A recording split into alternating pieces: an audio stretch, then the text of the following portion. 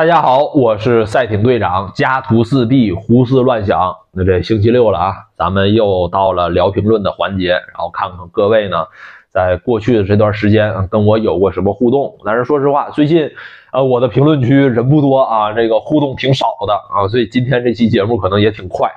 节目之前呢，咱们还是先做广告啊，这个。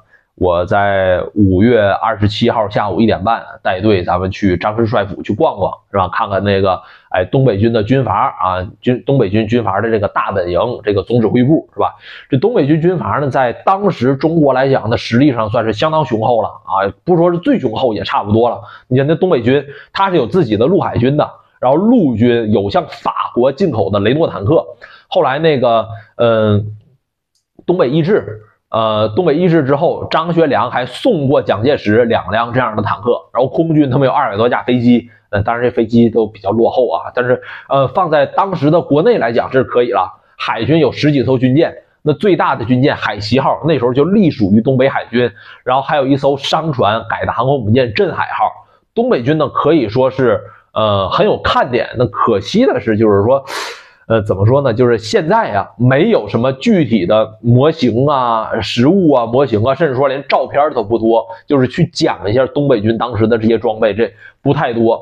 所以这次帅府可能也没有什么机会去给大伙讲这个东西了啊，因为这个无实物的去讲啊，这确实还是挺难的啊。但是要是没讲的话，这以后吧，啊，以后咱去什么大连呐、去青岛啊，就是咱可以讲，因为这个那时候呃，东北那个渤海舰队啊，司令部。啊，这个他就设在青岛嘛，这个指挥官是那个沈鸿烈，那也算是东北的少壮派之一，这也是这也是开创了东北海军的呃一个奠基人啊。以后咱去青岛的时候，咱可能看看有没有什么值得讲这块的。反正这次咱就先去帅府啊，咱去那儿先逛逛吧，是吧？那么咱言归正传啊，看看过去的这几期节目里边，观众呢都跟我进行了哪些互动。那在，嗯，在这什么，在普里戈金先骂街，在效忠啊这一期里边，观众叫做魔鬼扑街啊，魔鬼扑街啊，他他说，所有军队啊，呃，所有军队的指挥官啊，如何能被政府控制权力，尤其是在外国作战的权利，避免以战自肥、吃空饷的情况出现，或者是出现。政府没法掌握军队啊，出现叛乱的私人武装出现，这是不是一个很头疼的问题呢？啊，其实你想问的这个问题，是不是就是说如何避免军阀割据这样的情况出现呢？对吧？那么，呃，或者说是如何避免军人干政，像那个啊，就像东北军一样啊，这不就是军人干政吗？最后张作霖成立那个。在北京成立什么安国军政府，这不典型的是军人干政吗？然后剩下的那些个军阀啊，包括段祺瑞呀、吴佩孚啊，其实那也是军人干政啊。那总统都被架空了啊。那其实怎么避免呢？就是咱拿美国举例子吧，基本上这个美国的例子也可以代表其他现代国家的例子。那其实。不是说啊，权力这个东西，权力啊、政治啊、财富啊，肯定是每个人都想得到的。不是美国军人不想搞军权、不想干政、不想当军阀，就是实在是他被美国的国会看得死死的。美国军队最大的敌人是谁呀？敌在国会呀，敌在国会山呢，对吧？美国国会是掌管着美军的人事权和财政权。美国的国防部长啊，什么美军那个。呃，参谋长联席会议主席都得经过国会的批准，然后他的福利待遇、他的武器采购都得是通过国会来点头。那么冷战期间是吧？美国，呃，就是美国国会砍了多少这个美军的装备啊？那超级航母合众国号没了，然后这全核舰队啊。都是由核动力军舰组成的，什么核动力航空母舰、核动力呃巡洋舰、核动力驱逐领舰、核动力核潜艇，全核舰队没了，是吧？然后什么 F 十五，妈多好的飞机呀！让那国会内部呢，经过那些什么战斗机黑手党一忽悠，让美国国会强压着美国空军，你得收 F 十六，就是这种外行指导内行的事儿，在美国历史上多多了。那实际上，不管是呃美国。这个现代国家，就我说的是政治经济现代化啊，不是说这个国家成立在现代啊，所以就是这现代国家不包括那些个亚非拉的某些国家啊，就是你看现代国家都是文官治军，然后近现代以来掌握国家财富的是什么人？是是商人啊，或者说叫资本家。那财权掌握在手谁手里，就等于军权掌握在谁手里。那况且这美国对于军队的不信任，那是建国以来就有的。打响独立战争第一枪的是美军吗？不是啊，民兵啊，是吧？那那时候还不叫美国的民兵啊，那是北美大陆的民兵啊。那独立战争之后，那主力什么大陆军？那华盛顿是大陆军总司令，他的补给、他的兵源来自于哪？来自于北美十三州议会。那么北美十三州体现权力的就是这大陆议会。大陆议会的议员们，包括这这些这是什么？这十三州的这些头们，是吧？见多识广，老奸巨猾。你参考当时全世界，尤其是，呃，英国呀，啊，欧洲啊，各国，他的那种动荡，他对军队的做大是天生的恐惧，所以他们对军权也是掌握的死死的。那么独立战争一结束，嗯，这美国就立马解散军队，然后不是说华盛顿他不愿意当皇帝，不愿意当国王。军队不在我手里，权力不在我手里，是吧？所以我只能是去选举啊，包括这选这总统啊，也是选出来的嘛。那么还得是十三州啊，一个一个的通过。那很长一段时间，美国是没有常规军队的，是吧？那海军比陆军是更早的有建制的，而限制军队啊，包括你的扩军，包括宣战权等等，美国的文官呢，国会呀，看得那么死，一战、二战刚打完，那边就。就就就开始裁军，就生怕军队去做大，所以无论是历史还是现实，美军都必须得听那些个文官的啊。在日本奉为太上皇的日本的爹呀，麦克阿瑟，呃，就是说了什么不该说的话，然后在言论上打破了那种军人不干政的底线，对吧？所以立马被杜鲁门杜鲁门撤职，回国之后是吧？这个国会就开听证会去整他，然后那。就是他就就是国会就根本就不怕说麦克阿瑟回国的时候万人空巷对他支持啊什么啊老兵不死他们只是慢慢远去那就是国会根本不怕民众支持麦克阿瑟为什么？因为公开了这国会听证会的内容之之后，麦克阿瑟这人立马就凉了。就是美国的民众根本就不允许你麦克阿瑟，你一个军人啊，做出这样的行为。你包括艾森豪威尔怎么样，是吧？盟军总司令怎么样，对吧？他是他靠着盟军总司令的这个头衔，呃，去参选，然后最后呢，这个头衔也是为他最后的选举成功啊提供了很大的帮助。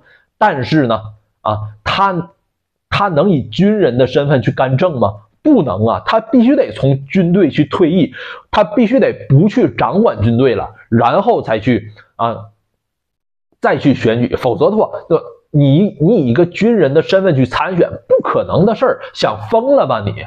所以这个，呃，就是在文官治理下的美军呢，那就是老实，该干什么干什么啊。你其实你想干政，但是你不想活了，对吧？嗯，好了，嗯，咱说下一个问题啊，嗯，观众叫一个爱说春点的那个观众啊，叫踏三山游五岳，赶浪无私，大头鬼王啊，这人经常是在我跟先生会的评论区里边说春点啊，然后他说，我以为你说这个老毛子空天军主帅呀，这苏维罗金啊，长得像谢胖啊，我可没说过啊啊，我从来没说过谢生会长得像猪。我就说过他长得像熊瞎子，对吧？好了，下一个问题啊。那么俄国连呃，俄国年年都搞生日阅兵啊。这一期里边，那观众叫冉伟啊，他说，呃，天朝很多人呢反法西斯只包括日本，所以从普京到元首那里继承来的生存空间理论并不奇怪，事实和道理并不重要。呃，他们只需要立从立场出发，反推自己所需要的那种所谓的事实。那么，其实很多啊，其实现在也是，就是很多人呢，他所谓的反法西斯，其实就是反对日本侵略中国。这虽然狭隘吧，但是在一个和平的世界环境当中，这没什么问题。毕竟，就目前的国际形势来看，是吧？那可能就是未来一段时间也算上，就是我们能听到的，包括我们的后代能听到的，离我们最近的一场侵略，那就是日本人了。但是日本呢是法西斯，而法西斯不只是日本，所以跳出日本这个圈之后，很多人对这个概念其实就模就就就模糊了。你记住一点就行，就是我反对一切啊反人类的这种侵略的行为，是吧？包括日本侵略中国，也包括呃伊拉克入侵科威特，更包括美国发动越南战争的。但就我的印象里边，我没听说过谁一边看。呃，一边呼吁和平，然后一边看美国轰炸越南，在一边唱《星条旗永不落》的 Oh say can you see，对吧？我没听过有这样的人啊。不过我倒是听过有人呢，一边呼吁和平，一边看俄罗斯发起特别军事行动，然后一边唱卡秋莎啊，正当梨花开遍了天涯，对吧？我是我是看过这样的人的啊。那么。下一期节目里边啊，就是在为什么不跟偶像谈恋爱？然后，因为我们爱的是具体的人，而不是人设。这一期啊，观众叫二脚猫艺术家啊，他说评论说说谢胖子好像抽烟了啊，这抽就抽呗，是吧？我也抽烟呢啊。当然我知道，就是你说的可能不是说啊，因为他抽烟，然后你就不喜欢他，对吧？然后他人设就崩了，你不是这意思。但是我呢，就是。啊，我也我也不是反驳你哈，呃，我就是想接着这个话茬，我多说两句，就是我们呢，在喜欢一个人，然后尤其是像像我们这种关系，就是可能是你因为演戏啊，你喜欢了某个演员，然后就是因为你你你爱看视频啊，你喜欢谢承惠，然后因为我听评书，我喜欢单田芳，啊，因为我我爱听相声，我喜欢郭德纲，是这样，就是说。嗯，如果是想要避免自己喜欢的那个人出现了人设崩塌的情况，那你一定要注意一点，就是你喜欢他一个具体的方面，而别去喜欢这个人啊。比如说，哎，我就喜欢单田芳那个嗓子，是吧？话说啊，张作霖打马来到段祺瑞什么嗯国务院门前，就我就喜欢他这个说话风格啊，然后。